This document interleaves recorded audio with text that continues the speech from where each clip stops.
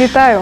В ефірі телеканалу ОТВ проект Коло, де ми знайомимось з цікавими, незвичайними особистостями Дніпра та області. Кожен наш герой сам запрошує наступного та ставить йому декілька запитань. Пропоную згадати, ким була та чарівна жінка, що розповіла нам свою історію минулого разу. Минулим нашим гостем була представниця, певно, наймодернішої ланки мистецтва, творами якої захоплюються та вражаються люди не тільки у Дніпрі, а й по всій Україні. Мова йшла про Альону Загребельну. Основою її творчості є напрямок, що має назву перформанс. Втім, тільки на таких напівтеатральних постановах вона не зупиняється. Козирів у її рукаві повно: фотографія, відеомистецтво, живопис, поезія, ілюстрація, веб-дизайн це тільки маленька частина тих жанрів, які поєднує у своїх виступах Альона Загребельна. З її подачі нашим наступним героєм став Сергій Бурбело, директор музею українського живопису, місця, де неодноразово проходили перформанси пані Загребельної. Його називають по-різному: світло музею українського живопису, представник нової генерації творчої інтелігенції. Втім, одне ми знаємо точно: людину, яку настільки захоплює своя справа, сміливо можна назвати ставлеником долі. Сьогодні музей сучасного мистецтва в Європі і Америці це не просто покази виставок, це ціла інституція освіти і культури. Тут проходять лекції та майстер-класи, зустрічі і дискусії, а також обов'язково є власні книжковий магазин і кафе. Європейська та американська модель сучасного музею це не просто консервація і демонстрація культурних досягнень людства. Це перш за все комунікація. Саме такий музей було створено не так давно, у 2013 році у Дніпрі. происходит то, что мы постоянно на устах. То есть если человек не любит искусство, не знаком с какими-то авторами или художниками, он всегда приходил либо покушать, либо посмотреть кино, э, либо ему там доставался какой-то сертификат. То есть то, что мы делаем, мы максимально приобщаем людей к этому процессу.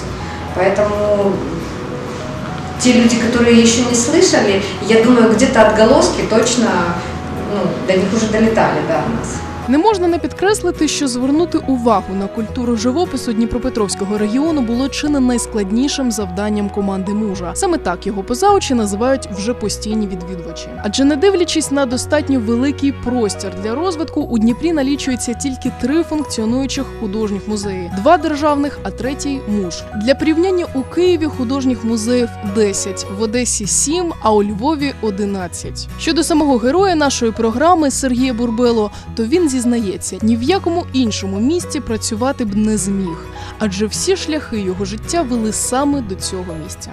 Здесь, конечно, не было как бы всего того, чего мы сейчас можем здесь видеть. Когда начинали здесь работать, в музее был только первый этаж, и телеканал был, там, скажем, на четвертом, да. Это со временем уже как бы с каждым годом мы потихоньку как бы осваивали сначала второй этаж, потом третий этаж. Потом у нас появились там хранилища и мастерские художников на шестом и седьмом этаже, реставрационная, багетная и все остальные мастерские. И вот оно как бы так обросло уже. Поэтому можно сказать, что мы, конечно, все это действительно как бы подымали с самых низов.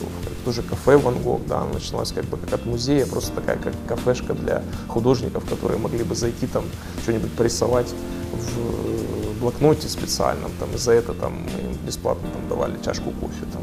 Нині тісно працюючи з засновником музею українського живопису Олегом Наумовим та художниками Дніпра, Сергій Бурбело знаходить все нові і нові ідеї для цікавих виставок. Як він вважає, музеїв у нашій країні та місті катастрофічно не вистачає. Тому в музеї українського живопису представлені роботи майстрів різних періодів та країн.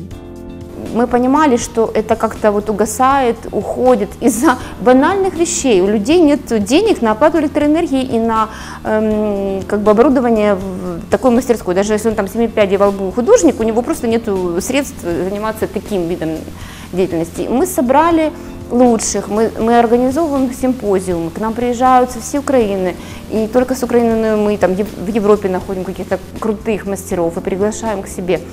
И наша коллекция э, работ из эмали пополняется, вот уже там, м, ну, у нас музей эмали, у нас э, там больше 400 работ.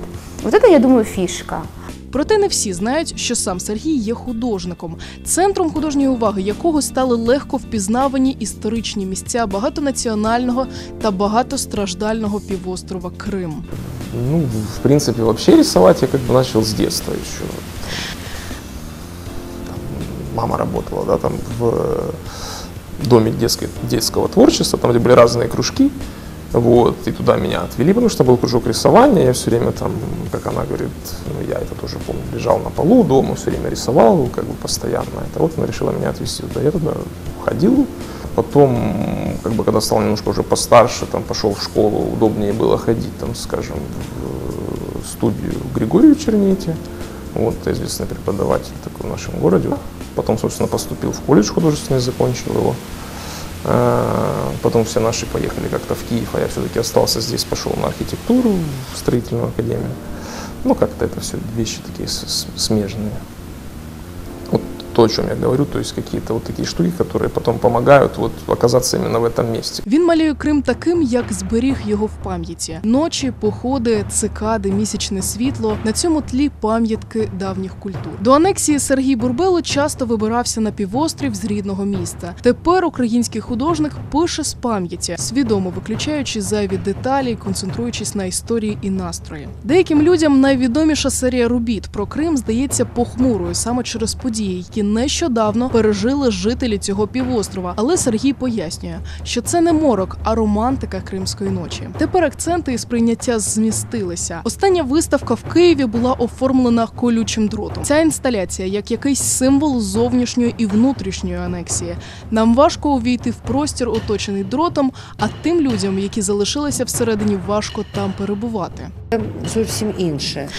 Це особливий роздум, це своє світобачення, це своє світосприйняття і своє відношення до нас, як до глядачів, яких він не улещує, а яким він дає можливість подумати. Значною частиною свого натхненного самопочуття на роботі, за словами самого Бурбила, він зобов'язаний саме команді, яка працює разом із ним. Історично склалося так, що золотий кадровий склад музею українського живопису створився цілком випадково. Потрібні люди самі знаходилися та самі залишалися приголомшлені теплою та невимушеною атмосферою цього місця.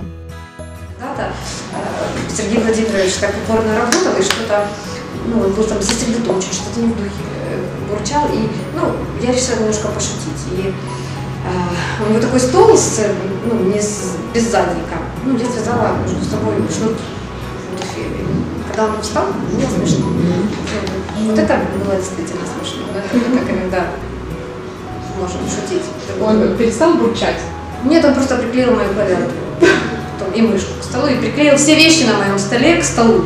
И я не могла ни подорвать блокнот, ни мышку, ни... Ну, таких историй у нас действительно... У нас еще есть такая прикольная традиция. Мы эм, сдаем кровь как доноры. Ну, это серьезная такая штука, да, но для нас это такое важное событие. То есть и, и мы там случилось это ну, там, совершенно случайно. Мы- нам кровь нужна была нашей сотруднице, там, пожилой, э, известной всем в городе женщине, она болела. Вот, ну, слава богу, все обошлось, и мы вот с тех пор мы как-то регулярно стараемся ходить в центр крови и сдавать кровь. На прикладі музею українського живопису молодого підприємства, що завдяки небайдужому голові за короткі терміни перетворився на чи не найяскравіше місце просвіти та культурного розвитку у Дніпрі, можемо тільки нагадати глядачеві. Майбутнє, на відміну від скульптур, не висічене на мармурі. Ваше майбутнє це той вибір, який ви робите саме зараз. Отже, ми впевнені, що у Дніпрі є багато людей, які зможуть почати прямо зараз змінювати на краще культурне наповнення середи, у якій живуть, соціальні пріоритети та життя взагалом. Наше чарівне коло зробило ще один оберт. Втім, на цьому його шлях не закінчується.